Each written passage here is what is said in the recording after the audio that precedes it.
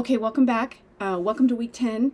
This week we turn to what is in effect a kind of a correspondence between uh, Newton and Bentley. This is Richard Bentley, who is a uh, he's a theologian. He's a, a, a, a, working member of the Church of England in the upper echelons, um, but also holds himself out for what you know in, in the times were considered to be a sort of a, a theologically inspired natural philosopher uh, like Newton himself is. I mean, Newton's got a lot of different jobs. I mean, inventing the calculus, um, which I'll talk some more about in a bit, running the, the mint, um, uh, the Royal Mint in, in England at the time, uh, and of course, publishing his physical theories, which is which are you know what he's most known for.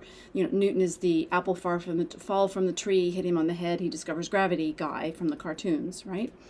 Um, Newton and Bentley were friends and allies. Um, they form or they're part of a, a world of um, uh, primarily English philosophers who um, populated the Royal Society in England, which is the, the scientific society founded um, earlier in the 17th century to um, inspired by the ideas of Francis Bacon to investigate uh, natural phenomena, all phenomena, actually supernatural phenomena, pre- preternatural phenomena, and so on. Um, Newton is Newton by this point is a big shot in the Royal Society, um, a very very big shot in the Royal Society. Uh, although he hasn't yet published his his Principia, that hasn't, which is the big physical book, that hasn't come out yet. But um, he and Bentley are um, part of sort of this army of people who give these. In particular, Bentley is giving um, um, a series, a, a, a set of lectures in a series that are devoted to um, defeating atheism. Uh, the, the, whole, it's like an endowed, we would say it's like an endowed series. It was an endowed series of lectures. Different guys gave it, you know, at different, in different years. Um, Bentley's sermons, they're called sermons, um, uh, they're lectures and they're sermons because sermons were lectures uh, in, in, in, the, in Protestant uh, Britain, really, uh, uh, at the time. Um, they tended to be lectures depending on, you know, how fancy the guy given them were, it was uh, Bentley's giving these lectures, which are sermons. We're, we, I asked you guys to read Sermon 8 in this series. And each series of lectures, each, each set of lectures in the series is supposed to uh, uh, push back on um, arguments for atheism derived primarily from natural philosophy, very much along the lines um, that we've seen or that I've suggested to you so far in, in these lectures that we're having uh, for this class. So Bentley writes eight sermons in Confutation of Atheism that are published, delivered, and then published in 1692. So in the in the 1690s. Um, you know, he gives them over a period of time. Later and later, they're collected and published together. Well, partway through this his his uh, writing of these individual sermons in this series of eight, he and Newton have an exchange of letters. We don't have Bentley's letters we have Newton's side of the correspondence. That's the that's the excerpt from Newton I asked you guys to read. So he's replying to Bentley's letters and you know putting out his Newton's views of the same subject. Now these guys are on the same team. They share the same views. What their what their discussion amounts to is I mean, Newton is correcting Bentley on the physics, what he sees as the physics, um, but he's also correcting him on metaphysical assumptions, assumptions about the nature of the world that aren't necessarily, you know, that aren't verifiable one way or the other in this period by um, by observational empirical philosophy. So Newton, I mean, Newton's a he's a scientist, he's a, he's a big science guy, right? But he's also um, He's also a devout, believing Christian of a certain strand, a certain substrand of, of, of Protestantism, Protestant Christianity. So it's Western Christianity, Protestant branch, Newton's sort of sub branch. Um, he wasn't fully public with these views because they were a little controversial, but he's like a very seriously religious guy. He's also an alchemist. He was big on um, alchemy, which is now a discredited uh, uh, empirical physicalist um, theory of the of the nature of, of, of certain of, of, certain physical substances and elements and so on. Alchemy you know the, the the cartoon version of alchemy is that these people are constantly trying to find ways to turn lead into gold. Um, newton was a bit as a big alchemist which is something that we didn't you know what people didn't know generally until fairly recently. And, and in popular terms people don't know this about newton. Um, so they're on the same team and they are working out the kinks of their arguments yes, for the physics, but primarily against um, the threat of atheism. And as I suggested to you earlier in the semester, very early in the semester, they were right to be nervous because what we have now is a secular physics that, for, unless you know, except you know, in, with exceptions in the case of individual physicists and their particular individual beliefs, is a is a is a completely irreligious, speculative, hard science. It doesn't involve theological views or metaphysical views, quite in that way.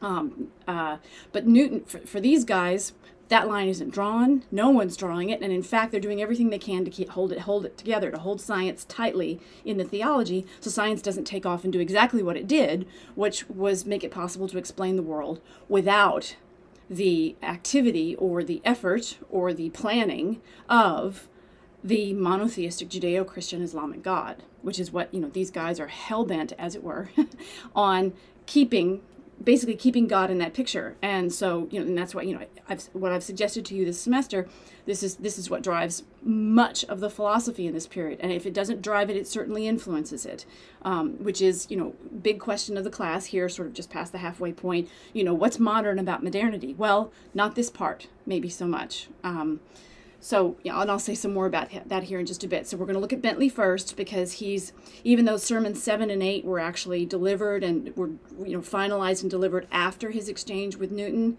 um, I want to give you an overview of the lecture series and then we'll look at Bentley and then we'll get into some of those details. So, um, eight sermons preached at Boyle's le lectures. Robert Boyle is a very famous um, empirical scientist. He's the guy who does all of the experiments with um, vacuum tubes and the air pump and so on, demonstrating sort of what we would consider to be very basic physical science insights about the nature of air and um, uh, and pressure and temperature and the, the, relationship of these things. It's very, very early science. So, you know, this is science in its early days. Robert Boyle is a hugely important figure. He's also a member of the aristocracy and he's got money and um, he endows this series of lectures um, in confutation of atheism, you know, in, in the refutation of atheism. At least that's how the Royal Society takes the mission. Um, in the eight, the eight sermons, the overview of the eight sermons, we only read sermon eight. Um, in the first sermon, Bentley just tells us all the different forms of atheism. And what, it, it, if, if we were to look at it, what it sounds like is it's a list of all the ways you could have a physical account of the origin and nature of the world that didn't refer to theological causes. So, I mean, it's a, it's a very specific kind of atheism. Um, in um, the second sermon, uh, what Bentley does is the second lecture, what Bentley does is uh, he argues the case against atheism from the soul and from the fact that matter can't think. This is um, this is a he's he's invoking um, the, dualism that we saw both in Amo and um, Anton Wilhelm Amo and in Descartes, the separation between mind and body. Uh, you know, I'll remind you about some of those features about what that means in terms of the physical matter that these guys are going to be talking about. Um, but the gist of it is mind is distinct from matter and matter can't think. The claim that matter can't think is a crucial premise. It's a crucial premise in the broader argument. So just bear that in mind. Is that matter is matter is as as, as I've said to you guys um, several times over the last few weeks. Matter is inert. It's not active in itself on this on this view, and one of the actions it can't engage in is thinking. Is thinking. Um, sermons three through five are arguments against atheism made on the basis of observations about the structure and origin of human bodies. And there are a whole bunch of uh, different arguments and, and, and takes on this. It takes, you know, three whole sermons and lectures. If you were to read them, they would sound like um, sort of quaint, old-fashioned versions of um, the design argument from, you know, from, from, from the way our eyes work or the fact, you know, the two hands. Bentley spends a lot of time talking about, you know, the two distinct but stable over time forms, male and female. All of these, all, you know, all by all the biological formal stuff, all observations you could make about human bodies, males, females, the eyes, the organs, hands, all these things. Um, basically saying, isn't this great? It couldn't it couldn't happen. It ha- it has to have a designer. I mean, because all of this is in some form or another um, a version of the design argument that you guys are familiar with in terms of creationism or in, intelligent design. Um, lectures six through eight we read we read the last one we read eight make the same case against atheism from what bentley calls the origin and frame of the world and as we see in um, in sermon eight i mean he's talking in general about um, the physical world very much along very much um, uh, the same subject matter although with a completely different position that descartes has was, presenting to us in the treatise on light in his the world right um, and in Sermon 8, what we see is a focus on the solar system and the bodies in the solar system as an argument against, again, against atheism uh, uh, in, in, in, Bentley's terms. So that's the overview of the lecture series. That's the context for, for Sermon 8, for Lecture 8 that we're, um, that we're reading, that we I asked you guys to read. Um, sorry, there are lots of little sub posters with this lecture. Uh, that's our first addendum. And also, this is the stage where we transition from landscape back to vertical. Um, so there's some there's some mixed media in terms of paper size today.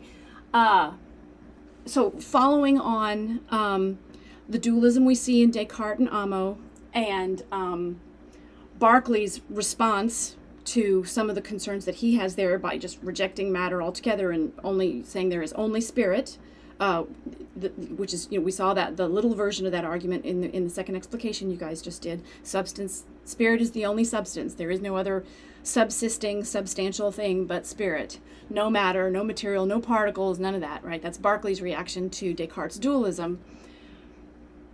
Bentley takes those concerns and that what what at this point in the later part of the 17th century is a big conversation about this and makes what is a considerable contribution.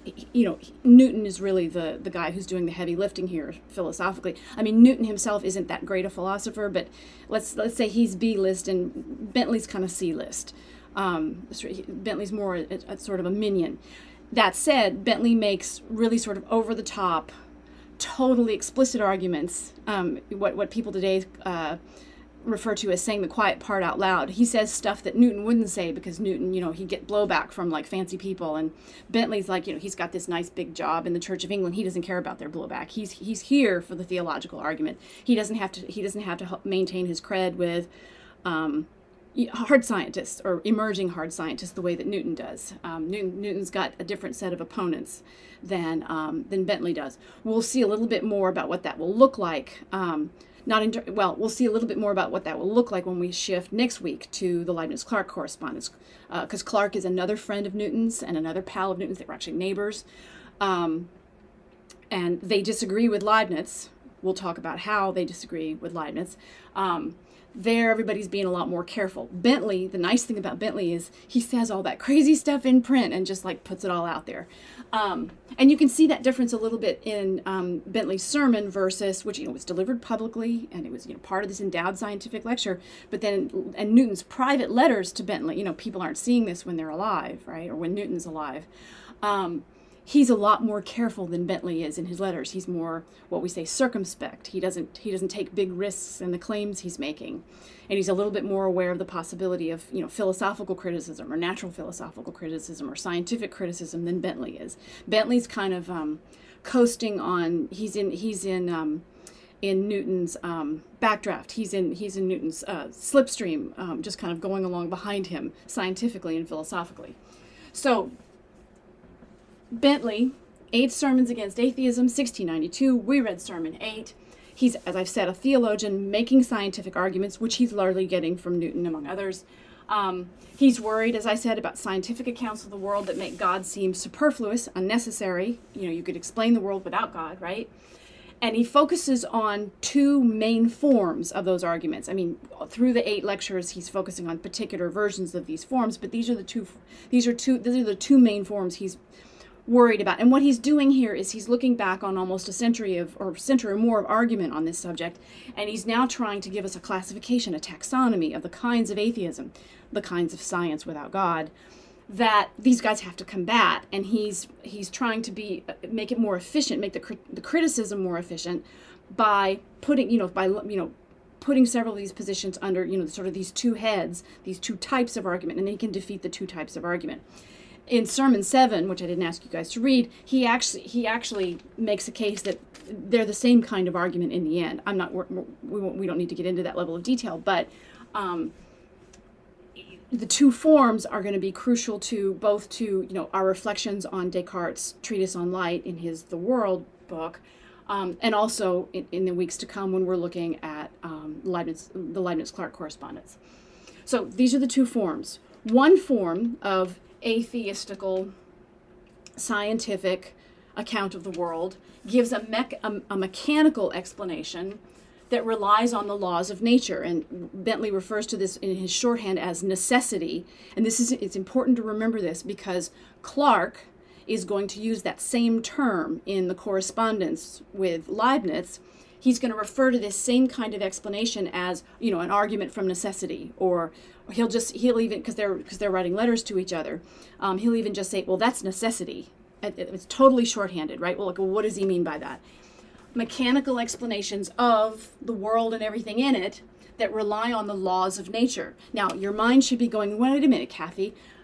Descartes gave us a, a mechanical explanation of the world and everything in it, relying on the law of nature, laws of nature, but he was like, you know, God's at the back of it, right? So you can see these are this is sort of like, you know, this is a this is a this is a, a group with a general shared theological view that is having disagreements primarily well partly about like what the world is actually like. I don't want to suggest these guys actually don't care about getting it right about the world about you know the you know the description of and the scientific account of the phenomena. But pretty much either a close second or in bentley's case way first is um, is you know who's better at fighting the atheists and we'll see that this is basically the the the the, the, the top line dispute in the leibniz-clarke correspondence is which one of them is giving more ground to atheism? Uh, which one of them is more dangerous to theological to, to, to religious doctrine um, to theological accounts of the world? Whose whose philosophy is, is is scarier and worse and bad for religion than the other guy? So this is this is you know this is the big fight they're having. And so um, so Bentley here is he's he's describing Descartes. I mean, he's also describing ancient, you know, sort of pre-Christian Greek um, uh, figures who do describe the world in mechanical, you know, things crashing into each other and shooting off in various directions. The atomists is one example. Um, mecha- mechanical explanation relying on the laws of nature. So there are plenty of pre-Christian guys who who have this view. But he's also talking about Descartes, who was nonetheless giving us an account of the world that very much depended on God and God's actions.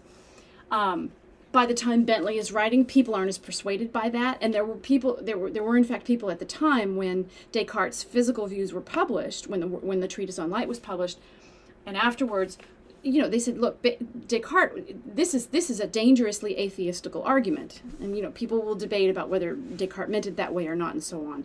I, I think it's pretty clear that in the world he means it.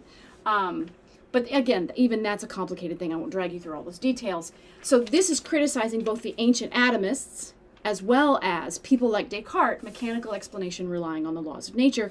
It all comes under this little tagline, necessity. So you need to remember what this is when we hit the Leibniz-Clarke correspondence, and Clarke says, well, that's just necessity. So what does he mean? He means this. The second, the second um, type of atheistical argument, and I know I, I suggested that atomism comes under this, but it, it also comes under this other uh, form. Physical explanations relying on the attributes of particles of matter, aka atomism, aka chance. Now, Descartes gave us a physical explanation relying on the attributes of particles of matter in his mechanical explanation relying on the laws of nature. So there's uh, there's clearly overlap here. That is, there are going to be ar- arguments that Bentley considers atheistical that show up in two different forms. The reason he splits this up is that he's got a counter argument for each of these two aspects. Whether this, you know, it's one, you know, Descartes comes under both of them, that's fine, as long as Bentley, in his view, is defeating both of these as- atheistical aspects. Physical explanations relying on the attributes of particles of matter aka atomism, this what he's referring to here are the ancient atomists, the Epicureans, Lucretius, um, and the people who in the early modern period picked, you know, revived those views, like Gassendi, um, for example, and said, hey, look, this is a pretty good way to explain physical phenomena, um, where the atomism, unlike Descartes' particles of matter, aren't operating under laws of nature given to the world by God, you know, imposed on the world by God, but instead are just doing what whatever it is that matter does in motion so that what happens comes about bentley says as a result of chance. Now there's a dimension of this in epicureanism so it's not bentley's not inventing this out of the blue. It's it's there but it's also um, he's also being he's also being a kind of a bigot in the sense that he's describing all atomisms as uh, involving involving involving chance lawlessness. Now you guys, we living in, you know, the early 21st century should have in our minds another possibility that you could have laws of nature that affected the way stuff went where we couldn't be sure that those laws of nature were imposed on the world by a, a, a monotheistic, all powerful, all knowing, um, om, omnipresent God. You, you, you know if you're if you are a religious person you may not port those ideas all the way over to your scientific explanations and you're well aware of the fact that people have different views and that we can nonetheless do science together without you know getting getting all hung up on the differences in our religious perspectives. Um, so that that's a third option here that's a third option here that bentley is um, intentionally excluding. So, in effect, what these guys are doing is what Bentley is doing. For those of you who've had um, critical critical thinking and you've studied fallacies, Bentley, at sort of a, at, a, at, a, at a very sort of um, larger structural level, is making a, a false alternative. He's making an argument based on a false alternative. Either these physical explanations rely on laws of nature where those laws necessarily determine. This is also determinism. It's determinism, it's necessity. Um, determining the outcomes, which presents problems for the for the for the free will and the problem of evil stuff that I talked to you guys about last time when, when I was telling you about um, Descartes why, why Descartes had, develops the view he does of God's relationship to the, the to matter in the material world, um, or if it's not necessity, it's chance, meaning um, physical explanations relying on the par- the attributes of particle of matter where the particles are it, it, it's an atomism so it's in this case it's unlike descartes where everything's full these are the atoms crashing around in empty space so that what emerges happens by chance rather than under the laws of nature. It is crucial to understand that for bentley and for newton as well as for Clarke when we get there that it is it is these these guys rely heavily on this alternative. Either something is a determinism, necessity, which violates the premise of free will and gives us problems with the problem of evil, right? Or everything is owing to chance. So it's like um, it's like throwing dice or playing cards or flipping a coin. Um, we know because we grew up in a world where there were other alternatives or one other really big alternative with lots of variations. It doesn't have to we don't have to be hard bound by these two alternatives. It's either all determinism or it's all chance. The form of the design argument that bentley and newton and clarke make however relies on cabining confining the possibilities to these two kinds to, to, to either necessity or chance. That's how they launch their their metaphysical views of the world on on on their terms, on their terms, which we'll see today. Um, now, now, um, what Bentley does then with these two classifica- these two classifications of types of atheistical argument, he defeats necessity and again, this is going to be really crucial when we get to the Leibniz Clarke correspondence, he de- defeats necessity by saying, by showing that things could have been otherwise. Here are the forms male and female, um, consistent through ages of you know human life.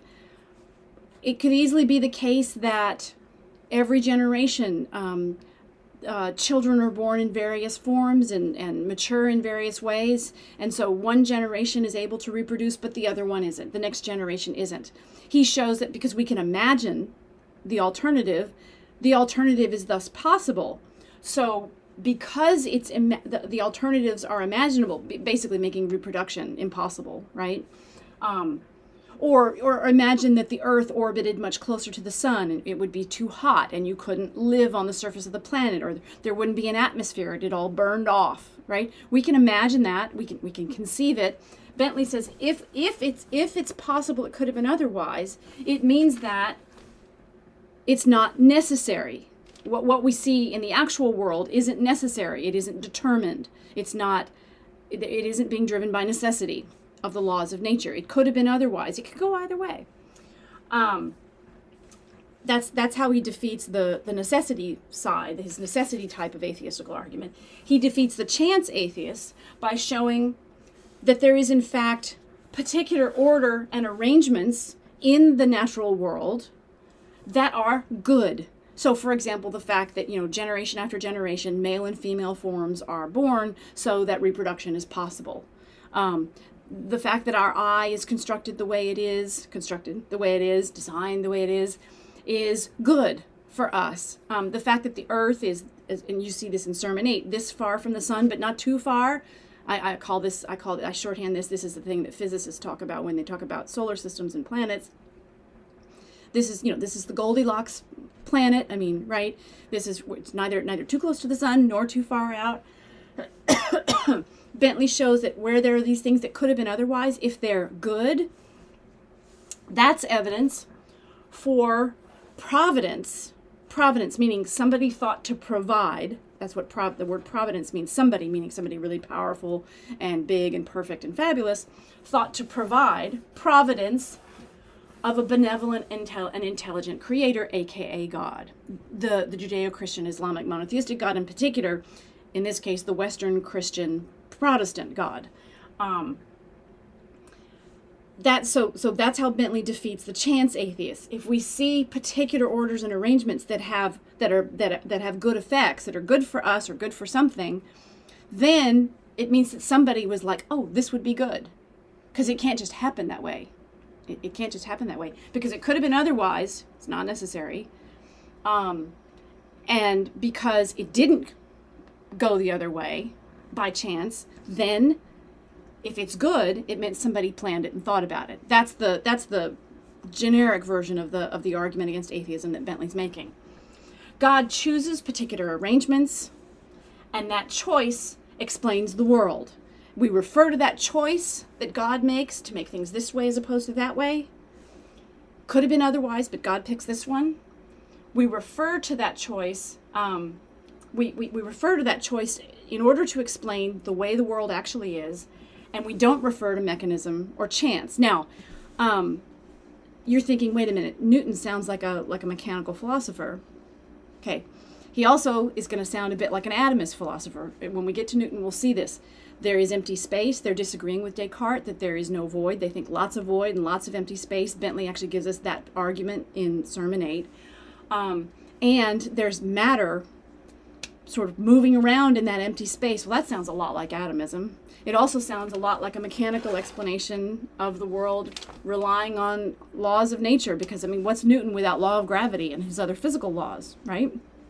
And, you know, the laws developed by Kepler and, um, uh, and, and, Galileo and these other people, right? So Newton's nobody without that. Um, this is this is also we would say in our world, we would say this is also spin. This is spin. These guys, Bentley and all of these guys, have got themselves hooked up with a really serious physicist, namely Isaac Newton, who's delivering really heavy duty, really successful, very successful. I mean, it held the fort in Western science until until Einstein, right? More or less. Um, I mean, this was a very successful, is still a very successful physical account of the world, what Newton gives us. The problem is it sounded a lot like those older mechanical and or atomistic theories of the physical world. So all of this assault on atheism is also image polishing. It's also, you know, going out on social media and saying, oh, yeah, I know it looks like I'm saying that, but I'm not really saying that. I mean, you guys know about that in the media world, in our media world. People do this all the time. They want to say something but they don't want to be seen as saying that. And so they have this big PR campaign. It's like, oh no, I'm not saying that. Oh no, no, no, no, no. So a lot of what we're seeing here is PR. Okay, that, is, these guys are like given mechanical explanations of the world, and it sounds a lot like laws of nature and necessary. I mean, gravity, the whole thing. I mean, it's pretty necessary for us, right? Let go of something, it falls to the ground. It seems pretty necessary. Um, it, you know, and, and there, there, there, you know, there are a lot of features of Newton's physical science that sound a lot like these views that Bentley is criticizing as atheistical.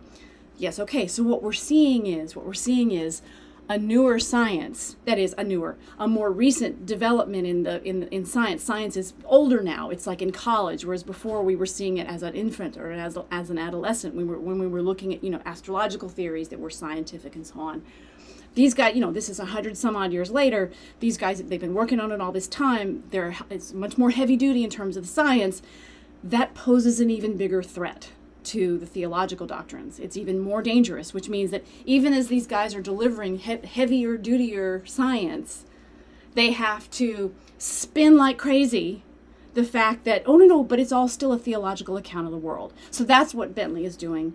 That's what Newton is doing. That's what Clarke is defending in the Leibniz Clarke correspondence. We're going to hold off on Leibniz in terms of seeing what he's doing later on. Okay.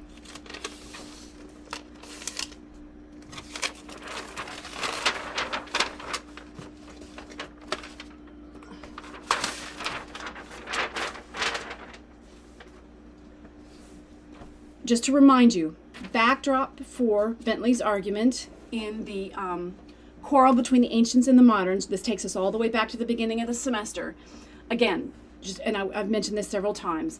The medieval adoption and adaptation of Aristotle's metaphysics to Christian theology, in, carried out by the scholastics or the schoolmen. We're going to continue to see references to these guys. I just want to remind you what we're talking about.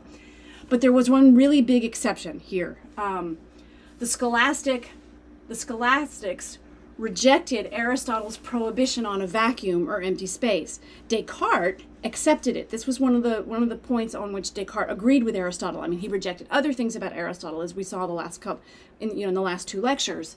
Um, but um, they he, he he kept he preserved Aristotle's prohibition of a vacuum or empty space. So the notion of what what what what what what they call in this period a plenum, meaning everything is full, plenty, plenitude, plenum. Everything is full, no empty space. We saw this. You guys saw this with De- in both, in you know in, in the whole of Descartes' treatise on light that we read, right? Um, Newton, in particular, and his followers, Bentley, Clarke, and the other Royal Society um, physics guys, science guys, rejected this. They rejected Aristotle's prohibition on empty space, and of course that put you know they had then they have to show, as I was just suggesting, they have to say yes, but we're not Epicureans, we're not Gassendi, we're not atomists, we're not we're not making the fortuitous atoms clashing in the void. That's the way Bentley and all these guys put this. They're, they're not making that argument. They're not doing that. Not doing that. They have a problem though because they've rejected Aristotle's prohibition on a vacuum, and they said there's lots of empty space. And again, you guys saw that argument in chapter eight. Bentley gives us this this account of like, well, if there if there if if this much space between the planets and the galaxies and all the rest of this wasn't empty, it would weigh a lot, and it doesn't seem to weigh a lot. So it has to be empty. And that's a very uh, hit and run version of that argument. Um, why is a vacuum necessary to these people? This is going to be, again, another crucial piece for the dispute between Leibniz and Clarke. So note this down, okay? I'm going to remember this. A vacuum is necessary for God to be able to move the universe one way or the other as a whole. It's also necessary for God to be able to like move stuff around in the universe, like, you know, maybe make the moon a little further out, make the moon a little further in. Um, most importantly, though, a vacuum is, or a void, empty space, is super crucial because God needs to be able to have chosen to put the universe here as opposed to there. And he needs to be able to have chosen, and we'll see this, we'll see this in Clarke's argument extensively. He needs to have created the, had the option to create the universe now or a year earlier or a year later and you're thinking how can you have years without universes yes time time really produces real fun and exciting puzzles on this but the but the point holds in terms of the physical theory they needed a vacuum because God has to have the option of, of, of not only creating the universe over here as opposed to over there, but if he wants to, once he's created it, moving it back or moving it forward or up, down, or up or down or any of these other positions. God has to have those options. I'll talk some more a bit later about why God has to have those options, and we'll see it in particular with Clarke. It forms one of the main disputes he has with Leibniz, so this is crucial. Um, so for these guys, they had to reject a plenum. They have to assert a vacuum and empty space. They're all empty space guys. Newtonian physics is an empty space physics. It's all empty. Um, Bentley's metaphysics, like Newton's, and as we'll see, like Clarke's, sees matter as essentially inert and inactive. Now, there, Descartes agrees with them. For Descartes, matter is inert. It has certain states that it's in. It has it has shape and size and direction and motion. These particles and the bodies they form have all those states that they're in, but matter itself is essentially inert and inactive, which is why for Descartes God has to put it into motion.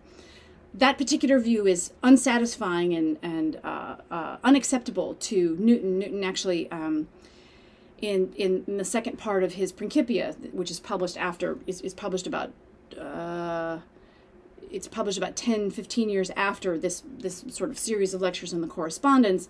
Newton, in the second part of the Principia, refutes Descartes' theory of the vortices. He shows why the assertion that everything is moving in a, in, in, in a multiple vortices, vortexes, in a vortex and in multiple vortices, doesn't it, it, it vi- basically violates one of Kepler's laws of motion, and that was a very heavy-duty empirical observational um, defeat of Descartes' theory of vortices. So these guys, I mean, they, they, they, they disagree with Descartes in, in, those terms, but they agree, they share Descartes' view that matter is inert and it has to be put into motion.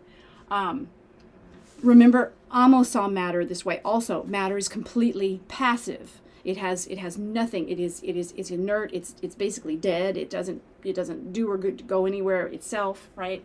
Um, so that, and this is the crucial point, any motion we can observe or detect, any order that is anything that has become differentiated and then put into a kind of a that shows up in a kind of an order or arrangement like you know i'm a human being and i have hands and I have parents and you guys, you know, have siblings and we live in a world with trees and things when we drop them fall. Every single one of those particular orders and arrangements, any regularity, right?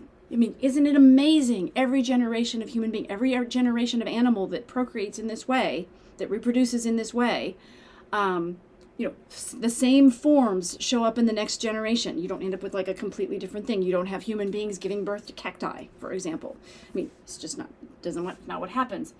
All of that particularity I mean, go back cast your mind back to the to the reference of did you see something and is it good right? All of any but any motion any order any regularity requires a cause. Remember that you, know, you can't get something from nothing nihil ex nihilo right? Nothing comes from nothing.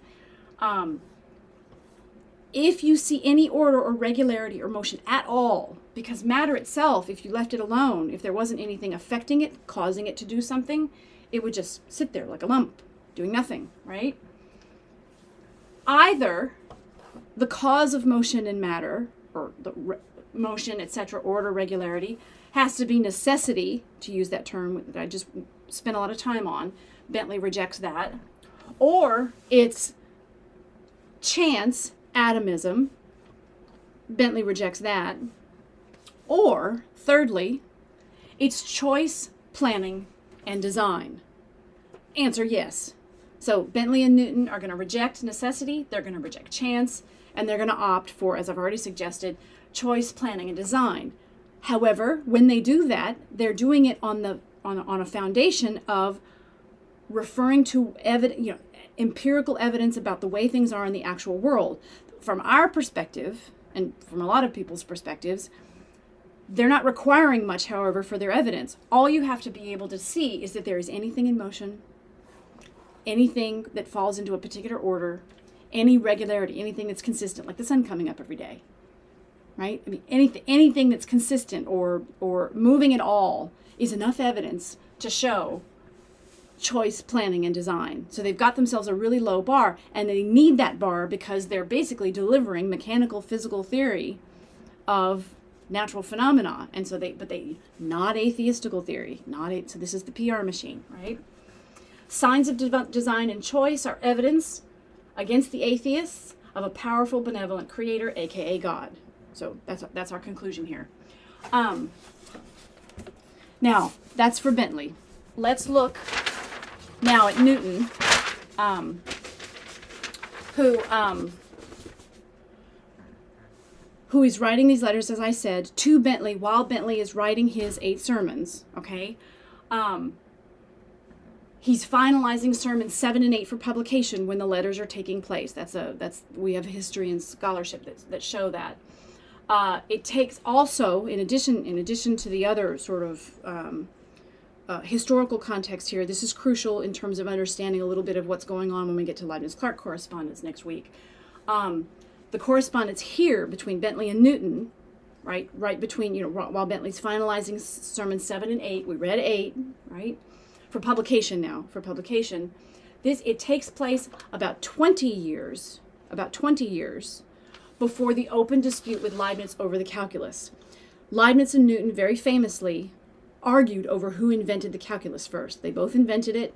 Um, the the consensus today uh, is generally that they both came up with most of it independently. Um, obviously, they were seeing each other's bits and pieces of each other's work, um, but the but the upshot is that they both more or less came up with it independently. Um, Newton, who wasn't a particularly pleasant person, um, uh, anonymously wrote uh, a, what was supposed to be a Royal Society report on the dispute that he has with Leibniz. So he's a party to the dispute, but he secretly writes the basically the judicial opinion in you know uh, judge scientists, scientist judges saying, "Oh, you know, it was Newton," and that comes out of the Royal Society in England. Remember, Newton is a Newton is an English person. Leibniz is living in Hanover, which will be important when we get to the correspondence next week. Um, the geography is going to be geography is going to become crucial when we when we turn to the actual correspondence and we start looking at Leibniz and his life. Um, this so so Newton secretly writes this report for the, it's supposed to be the subjective report by the Royal Society, but it's Newton taking his own side in the calculus dispute, saying, "Oh, it was Newton, Leibniz. You know, he's his claims are unfounded."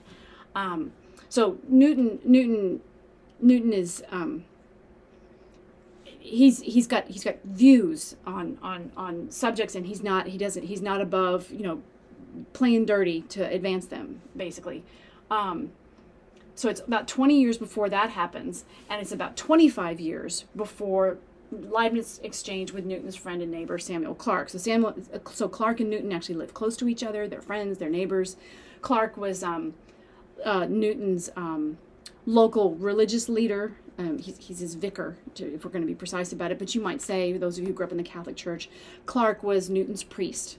Uh, you know, it's, it's, the wrong side of, pro, pro, for, of Christianity. These are Protestants, but it's the same structure the same same uh, organizational structure roughly.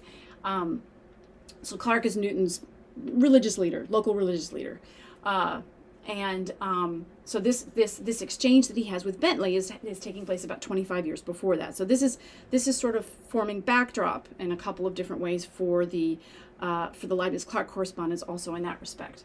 Um, Bentley and Newton give us one angle, and this is going to be the emphasis, this is going to be the thing I emphasize in, in the rest of this lecture, one angle on what reason in the so-called age of reason. Now is big zooming out for the for the philosophical modernity class. Well what is the age of reason? Newton and bentley are giving us one angle on what what what we mean here by reason and i'll say more about this in just a bit. That is what is rational in rationalism and what's modern in modernity? Okay so we're going to see and you know, bearing in mind that all of this is in the, th- the service of like heavily theological scientific endeavor, meaning we're not doing this science if we can't have our theology firmly supported by that science. Just a reminder what's pre modern, back when we were looking at astrology and so forth, pagan, European pagan, polytheistic, magical, mythological, animistic world of multiple spirits essences of things, diverse and crowded spiritual nature. It's, it looks a lot more like, you know, cultures. This is what Europe. Europe was just like any other culture um, with its you know its plethora of deities and spirits and essences um, before the advent of this period that we're studying in this class. Europe just looked you know just like any other culture um, in this sort of pagan polytheistic multiple deities and forces and animistic spirits world. Um, remember, it includes planets and constellations. You know, what's your sign? Um, go back to the astrology article all the way at the beginning of the of the of the semester. You know, here you know here people explaining all of their lives by reference to the position of their planets at their birth or at particular events and so on. Constellations, the sun, the moon, comets, planets named for gods and polytheistic religions the world over, as we saw in the first week of class. We know them from Greek mythology with names of Greek and Roman gods, Jupiter and Saturn, um, Roman versions of these um, pre-Christian, pre-monotheistic generally. So this is, you know, this is the world, Europe before Christianity, and popular Europe for hundreds of years, while while Christianity is is is the predominant sort of state religion. There aren't states necessarily, but it's the religion of the of the of the of the princes and the monarchs and so on. Um, regular people held on to the older views for hundreds and hundreds of years. It's why it's one of the ways if you start paying attention to the differences in Christianity in different cultures, not just in um, post colonial cultures, but also in Europe proper. What you're seeing in part is the showing through of the pre existing pagan cultures, which, you know, got themselves legitimated by getting sort of stuck under, you know, a particular um, subset of Christian ritual. This is, you know, the the particular saints in particular countries. If you go and you look at the worship and the the uh, the, uh, the, the, the tradition around those saints in, in, in different countries in different places, what you're seeing in part is the the pre-Christian pagan polytheistic um, culture sort of just sort of you know getting getting cover under the, the the focus on a particular saint because it's you know it's culturally specific um, a lot of that stuff got relocated there the, when um, when Europe sort of particularly the regular people ordinary people in Europe got sort of adjusted to Christianity it you know it takes hundreds of years for people to give up what were before you know their major religion it was a it was a massively religious culture you know, varying from locate by location before Christianity arrives in Europe. Um, just just like just like in any other part of the world. I mean, the, the the the for those of you with family origins in Central or South America, we're quite vividly aware of you know what happened when Christianity arrives with the conquest and how it affects Mesoamerican religion and you know the pre-existing religious culture uh, uh, in, in of the peoples in these various places and, it, and, it, and it affects the way the way Catholicism looks in, in, in those places even today. Um, uh, so this is you know this so this is our this is our pre-Christian backdrop. The, just a reminder, the Great Conjunction has echoes of personal, individual, idiosyncratic gods. I mean, Jupiter and Saturn have these personalities. Remember, we talked about that weeks and weeks ago. Um, they have feuds, they have conflicts, special powers, they have family relations, and this is why something like the Great Conjunction is, is, is assigned as a cause to plagues and pandemics. So that's a reminder about our um, pre-modern background while we dive into Newton's correspondence with Bentley.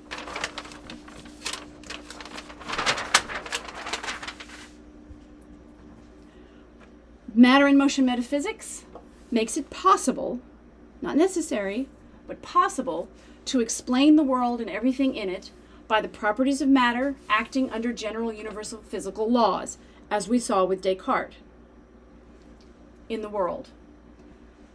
However, Descartes you know holds quite tightly to God as the cause of all of all of those laws. He puts matter into motion and he imposes the laws of nature. So, you know, Descartes it's not an anti-theological view. It's just not one that these guys, the, the Royal Society guys like Newton and Bentley, Bentley and Clarke, find satisfying. Um, particles in space are a void, aka a vacuum, as I've already just suggested, or denser, more discrete bodies like planets moved about by finer, lighter particles in vortices of matter as we saw with Descartes' The World. Um, and this is just an example of you know, these two different kinds of theories. Either theory explains all of nature, including the sun, the moon, the planets, and the stars. But there's a danger, which I've already suggested, um, that those explanations could be enough and um, that they support the conclusion of atheism. And notice that this is an atheism that could simply be what we call an agnosticism. Maybe God created all of this, maybe he didn't. You know, to speak from the from inside one of the monotheisms, right? Um, that uh, that's a agnosticism says we don't know. Atheism says we do know, and he doesn't exist, and he didn't cause all of this. These guys called everybody atheistic. If you if you made the slightest departure from, you know, theological Christian doctrine, it was considered a form of atheism. Um, and and the other thing is they got they, these guys used the term atheism to sling back and forth at each other when they were criticizing each other's physical theories. So it's also them's fighting words as well as an actual position that anybody anywhere actually ever took.